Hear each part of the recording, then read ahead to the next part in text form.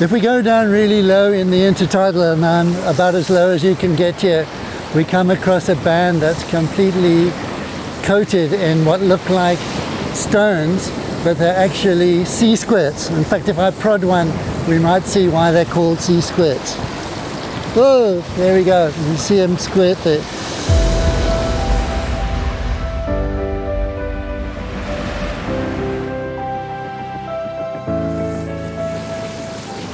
These animals, although they're actually quite advanced animals, which I'll go into in a moment, then the adults have just glued themselves down onto the rock and covered themselves with a thick coating of what's actually cellulose, which is normally only found in plants. And then they just suck in water through one opening and then blow it out the other opening after filtering the food particles from it. And wave. watching out for the wave here. Lift your skirts. no, no, I'm not going to get washed away. I can tell you a little bit more about sea squirts. Adult redbait might look a little bit more like a projection from the rock than an actual animal. But in fact, they're quite advanced creatures. They're chordates. They're related to the vertebrates, like fish and frogs and uh, snakes and so on. And this is not at all obvious from the adult animal. But if you look at the larvae of the animal, it's actually a little tadpole. So it has a, a spinal cord, a notochord, it has a tail with a fin around it, it has a mouth, it has a little brain, a little bit of nervous tissue, and it swims around in the water. And when it finds a suitable rock, it glues itself onto the rock by its head, by its nose, and then it reabsorbs its tail and it secretes a hard coating of cellulose around itself.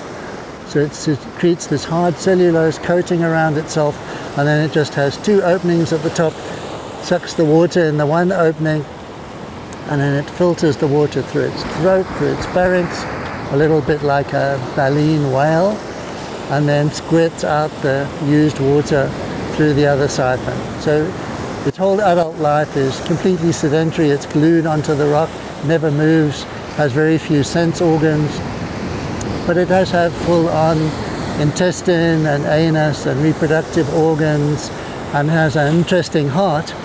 It's the only group of animals where the heart beats in two directions. What? So the, the heart will beat pumping the blood from one side to the other for a couple of minutes, then it stops, takes a little break, and then it pumps the blood back in the opposite direction.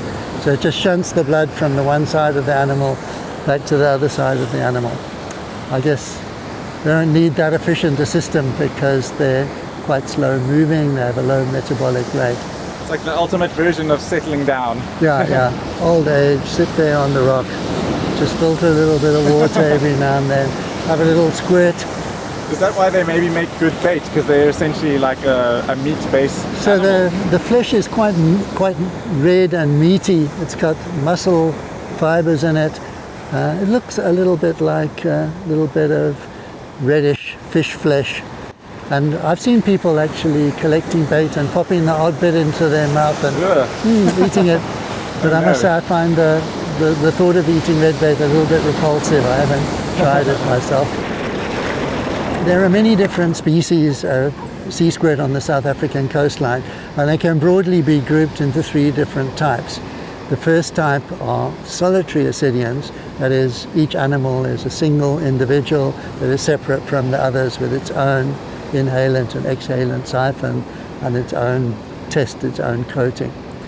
The second group are colonial ones, and they look a little bit like bunches of bananas.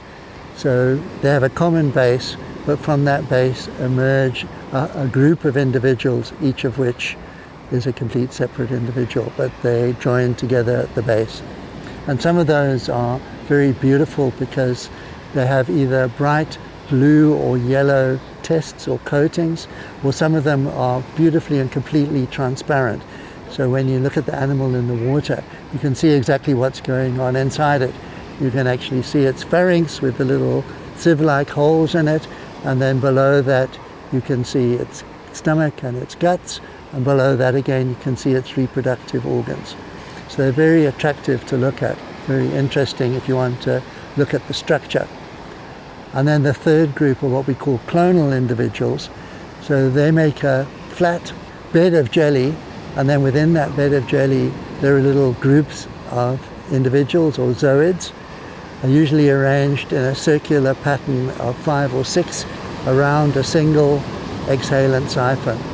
So each individual has its own sucking in hole, and those are arranged in a little circle, and then they filter the water, but they all pump the water out through a common and much bigger central hole. Uh, so they make those nice patterns. Yeah, so the whole structure looks like a bit of uh, jelly embroidered with little daisies. with uh, five or six petals and then a hole in the middle.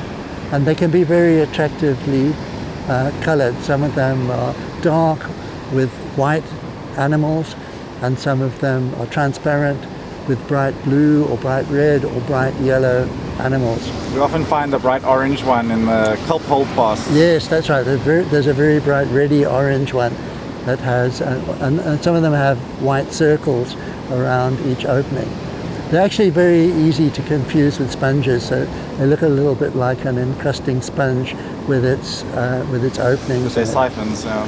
And they also have a different mode of reproduction. So uh, they reproduce by budding. So as the colony grows, it makes new individuals at the, at the edges and gradually expands. So a single colony can be quite large, can be 20 or 30 centimeters across, but each little group is only maybe the size of a one rand coin with a little circle of zooids and then this opening in the center.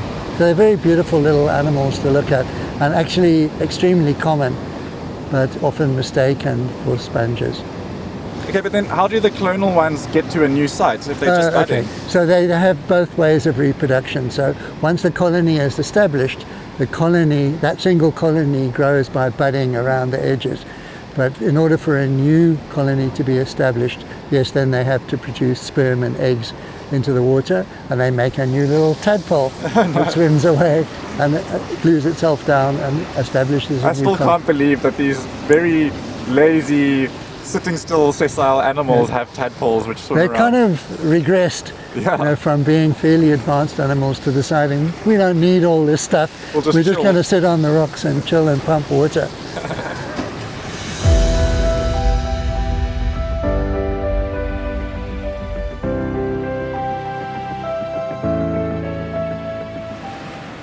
If you enjoyed this episode, please hit subscribe and you'll be notified when our next episode drops.